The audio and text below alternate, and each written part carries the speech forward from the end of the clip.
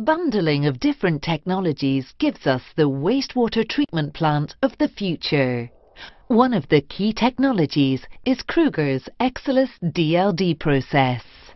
Normally, sludge from a wastewater treatment plant is a waste product. In the future, however, sludge will produce electricity and heat for thousands of households. With the Exelys and DLD technologies from Kruger, wastewater treatment plants will become the power stations of the future. A typical wastewater treatment plant with a capacity of 100,000 PE today has a power consumption of 2,200 megawatt hours corresponding to 650 ordinary households.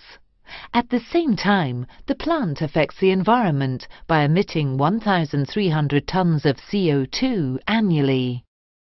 The same wastewater treatment plant with an Exelys and DLD will be able to produce electricity for 500 households and displace 1,000 tons of CO2 annually with Exelys and DLD. Clear benefits.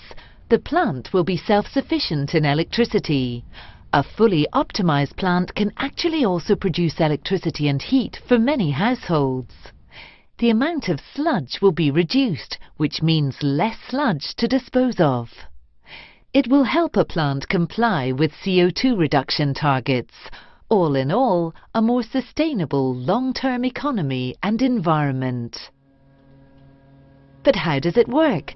Well, sludge contains a lot of carbon, just like oil does. The secret of Kruger's method is that the energy in the sludge is utilized effectively. First in a digester, where the gas developed can be utilized as energy.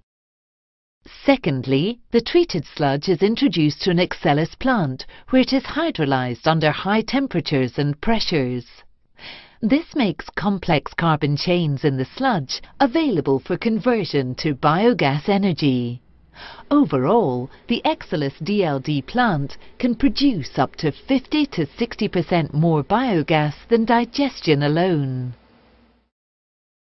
Of course, capital investment is needed to install this technology, but the extraordinary thing is that an ordinary wastewater treatment plant can be gradually extended to become a power station.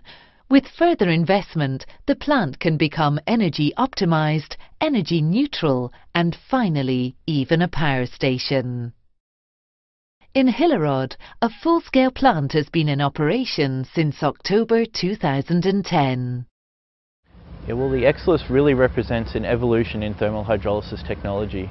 If we have a look at the case here in Hillerod, since we've installed the Exelys DLD system, we've seen an increase of 25 to 30% in biogas production and sludge destruction.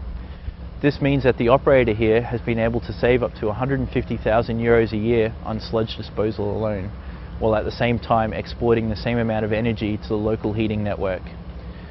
At the same time, we've also been able to prove that the concept of continuous thermal hydrolysis works on a full-scale application and is very energy efficient and highly effective.